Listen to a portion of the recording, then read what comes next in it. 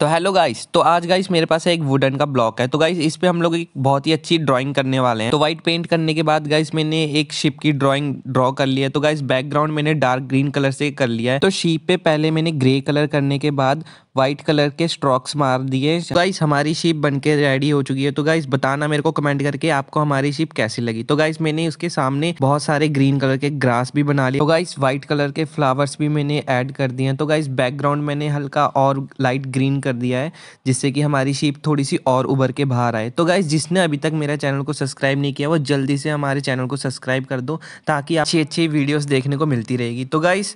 आप मेरे को कमेंट करके बताना आपको हमारी ये अक्रैली कलर से बनाई हुई सीनरी कैसी लगी तो गाइस मैं आपके लिए इतनी मेहनत से अच्छी अच्छी वीडियोस लेके आता हूँ तो गाइस आप लोग वीडियो को लाइक भी नहीं करते हो तो गाइस तो इस वीडियो पे देखता हूँ आप लोग कितने लाइक्स करते हो